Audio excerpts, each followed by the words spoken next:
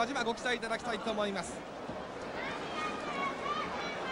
さてこの後は名イベントいよいよその世界チャンピオンリック・フレアの登場です。日本テレビの全日本プロレス中継この放送は秋田放送の制作協力で秋田県立体育館より実況生中継でお送りしています。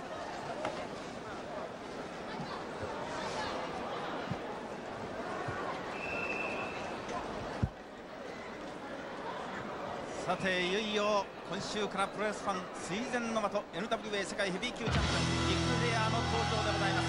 今回の日本遠征3回の世界タイトルマッチが予定されておりますがまずはジャパンプロレスの八津義明が第一挑戦者に抜擢されました。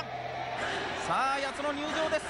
揺れ動くジャパンプロレスでありますが八津は大目標に向かいまして燃えています。おそらく相当のプレッシャーがあると思いますが世界のベルトに初挑戦のやつ持ち前の底力をフルに発揮することでやりましょう。さあやつが登場してまいりました。やつの目がもうランランと輝いています。さあ世界のリングに登場だ。チャレンジャー八津義明新時代をしっかりとつかめ。挑戦者八津義明登場。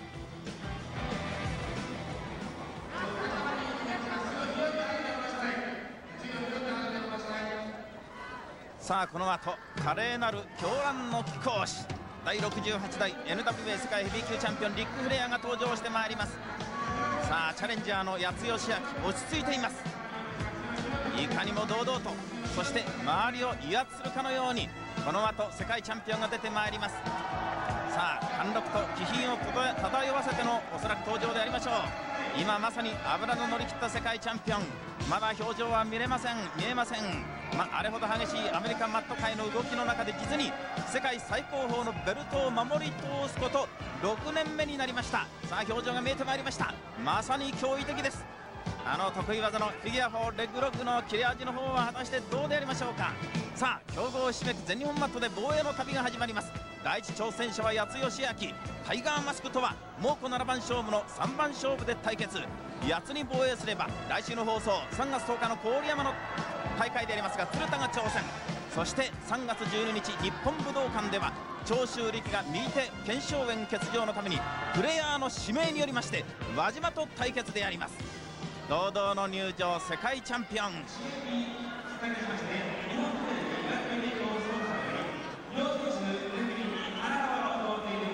NWA 世界ヘビー級選手権試合試合に先立ちまして日本テレビそして番組のスポンサーから両選手に今豪華な花束が贈られました。リング上はタイトルマッチ宣言。秋田放送太田久夫常務取締役制作局長より紹介されます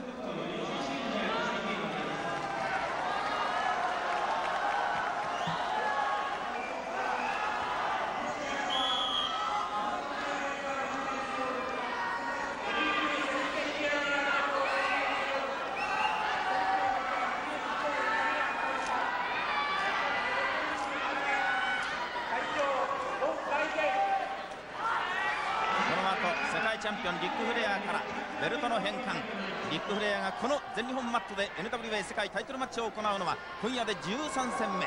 過去鶴田と4戦天竜と2戦ハーリー・レースと1戦ザ・グレート歌舞伎と1戦長州力と1戦ケリー・フォン・エリックと1戦リック・マーテルと1戦でございます。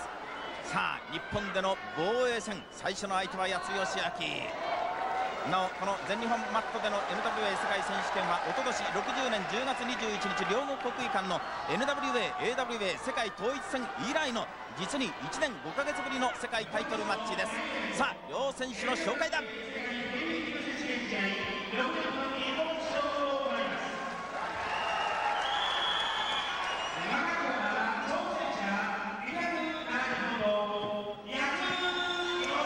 デビュー7年初の世界挑戦。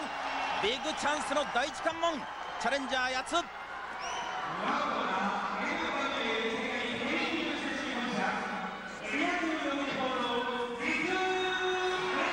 通算12回目。1年半ぶりの来日。第68代 NWA 世界ヘビー級チャンピオン。リック・フレア。さあこの世界選手権レフリーはタイガー服部さん NWA 世界選手権3度目のレフリングでございます。さあ勝負が始まります。先手必勝先制猛打。はっきりとこう言っておりました。チャレンジャーの八代義明立ち上がりの勝負。どうぞお茶のファンの皆様ご覧いただきたいと思いますがどういう風に試合を組み立てていきますか？チャレンジャーの八代義明であります。さあ山田さんジャパンプロレスの副将八つが世界タイトルに初挑戦ですね。そうですね、えー、大変に大きなチャンス、はい、これは絶対掴むべきですね。そうですね。そのためには今おっしゃってたように先制打を放つこと、はい、これでしょうね。そうですか。さあゴングが鳴りましたが八代素焼それほど気負った姿勢では望みません。ひとまずバチンとショルダータックル肩を当てましたがうまく間を取っています。今度は世界チャンピオンが攻めたがバックを取ったのが八代義明。倒した。リングの中央だ。さあバックからの攻撃。とうとう得意のグランドレスリングでの勝負なのか。八つであります、ええ。え、あのアマレス風なね攻めをまず見せてますね、はい、これはおそらく八選手が考えている心理的作戦だと思います。はあはあ、というのはリック・フレアチャンピオンも八選手があのアマレスのですね、はい、全日本チャンピオンになったということを知ってるわけですね。そうですね。その辺でかなり心理的に動揺してる、はい、それをねもっと見せよう追い詰めようということでアマレス風な攻めになってるんだと思いますね。そうですか。この両選手の出会いはアメリカ・フロリダ州でございました。6年前に八つ選手が、えー、フロリダをサーキットした時に当時チャンピオンになったばかりのリック・フレア。その世界チャンピオンの金髪のこのリック・フレアからコカ・コーラを1本ごちそうになったという話をしておりましたそして歳月が過ぎました。7年目を迎えます。八代義明現在30歳。初めてチャンスを使いました。さあ馬場、えー、山田さん。あの過去連綿と80年の歴史を刻む NWA 世界選手権の中で過去初挑戦初ダッシュに成功したレスラーはいるんですか？いやこれはね、ええ、ルーテーズがね、はい、初挑戦で取ってますね。取ってますか、ええ、ほうほうほう。そうですかエベレット・マーシャルから取った時はそうですね。ああそうですしかし、なかなか現代のレスリングになってからはそういった過去の事実ないですね。そうですね、えー、さあ八代義明先生もうだというふうに言ってたんですがこの冷静沈着な技の積み重ねじゃないですか、えー、今のところね、はい、非常にあのうまい攻め方をしてますね、えー、アームブリーカーで攻め込みました。ただね、ええ、このリック・フレアというチャンピオンは、はい、大変にあの受け身のうまい選手ですから、ええこれはあの自分が攻め勝ってると思ってはダメですね。そうですか。来週の放送ご案内しておりますけれどもこの勝者にジャンボ鶴田が挑戦。郡山大会を中継でお伝えしてまいりたいと思います。さあ技の組み立て試合の流れ何しろ百戦錬磨の世界チャンピオンリック・フレア。山田さん過去3度でベルトを捉えておりますが今年で6年目に入りましたね。そうなんです、えー、あのープレーヤーがチャンピオンになった時に、はい、おそらく長持ちはしないだろうというのが、まあ、大方の意見だったんですが、それに反して大変に素晴らしいチャンピオンになりましたね。そうですね。過去敗れた相手はハーリー・レイス、ケリー・フォン・エリック、ダスティ・ローデス、まあ、こういった連中にタイトルを奪われましたがいずれも短期間で奪還に成功。まあ、NWA 王者は俺しかいないんだ。実力人気知名度どれをとっても俺にかなう者はいないんだ。こういうふうに絶対的な自信を持っています。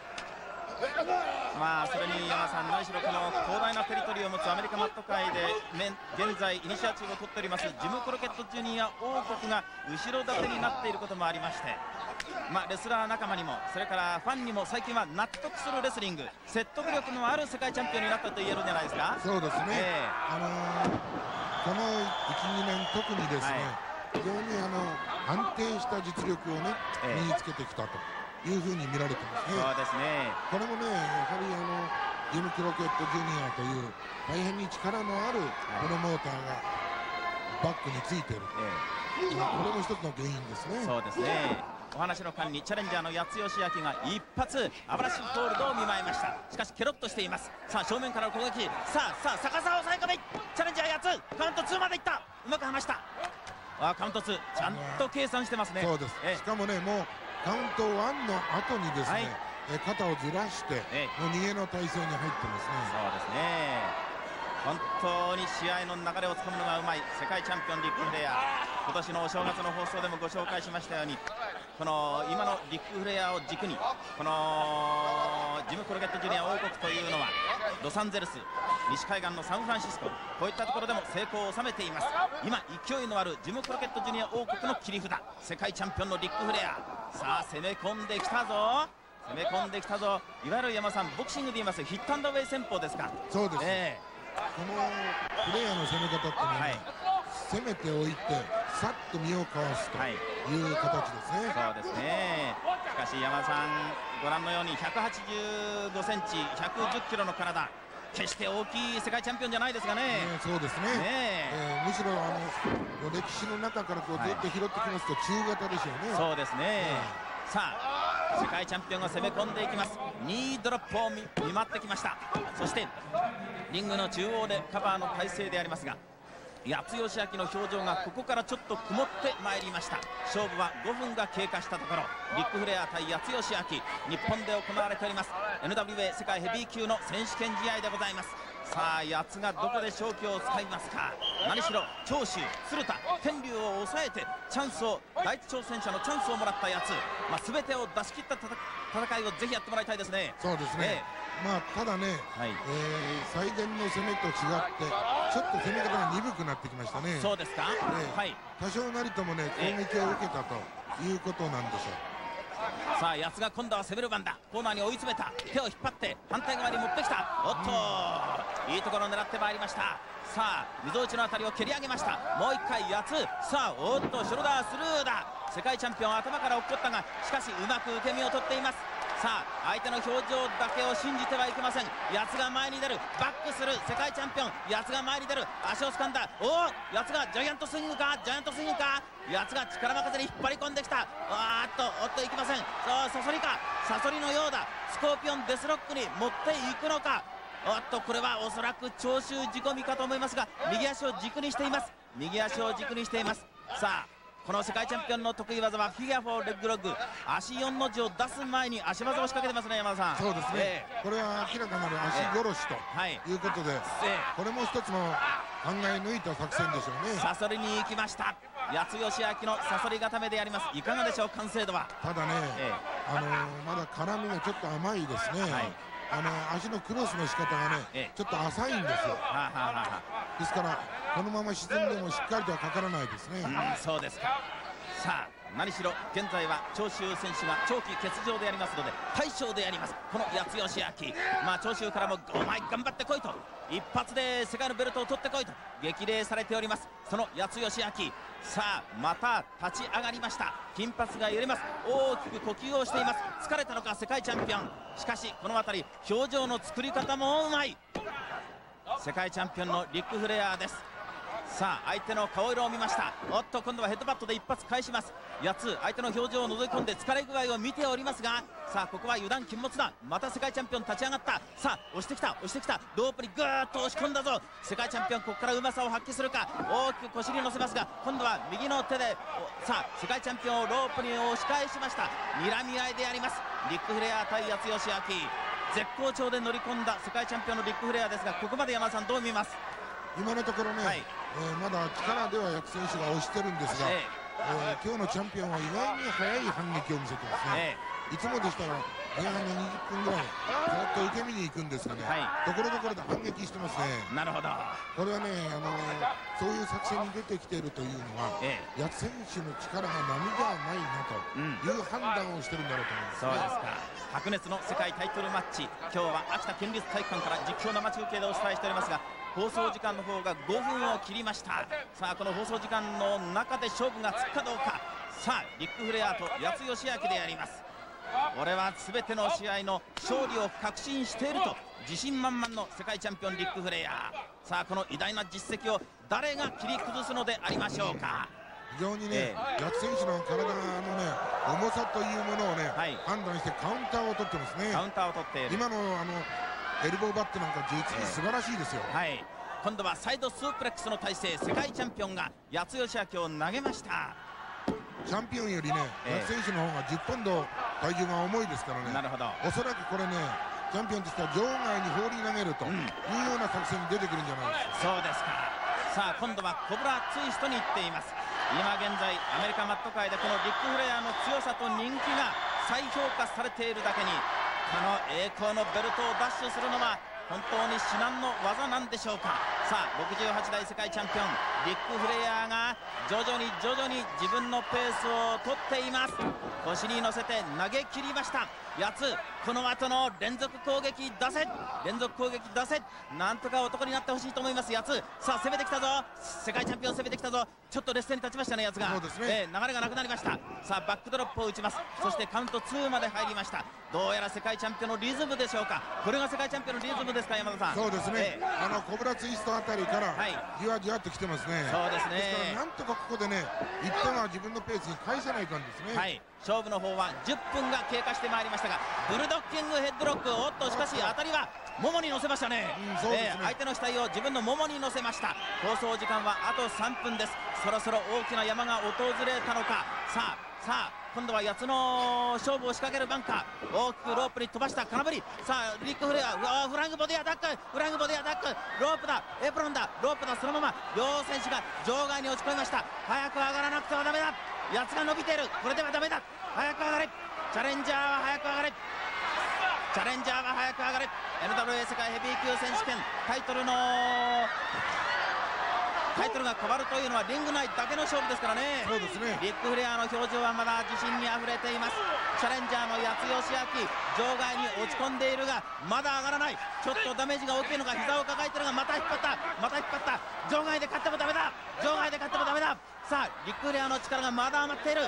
世界チャンピオンどうやら場外で決着をつけようとしてますか山田さん、うん、どうやらね、えー、狙いがね、はい、あの四つ吉が深追いしすぎてるのを逆に利用されてますね、えー何しろクレバーな頭の持ち主世界チャンピオンのビッグフレイヤーもういろんなところに頭を張り巡らしています。